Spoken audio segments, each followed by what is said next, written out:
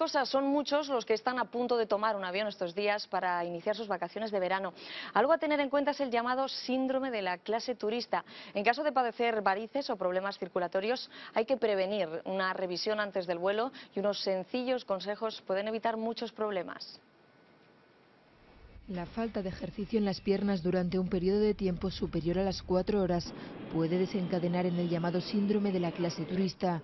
Pepi ha oído hablar de él y le preocupa. Se va de vacaciones en avión. Se me hinchan los tobillos, tengo pequeñas varices y por eso he decidido venir al doctor para que me haga y que me dé consejos. Le realizan una ecografía para descartar problemas circulatorios. Que no haya trombosis, que no haya presencia de coágulo.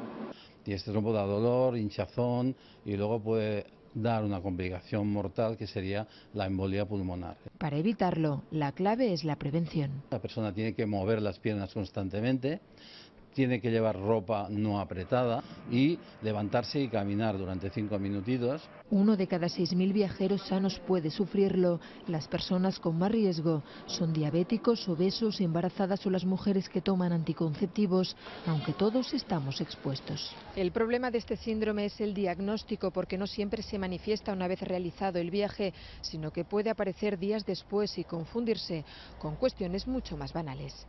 Desde Barcelona para Telemadrid. Berta.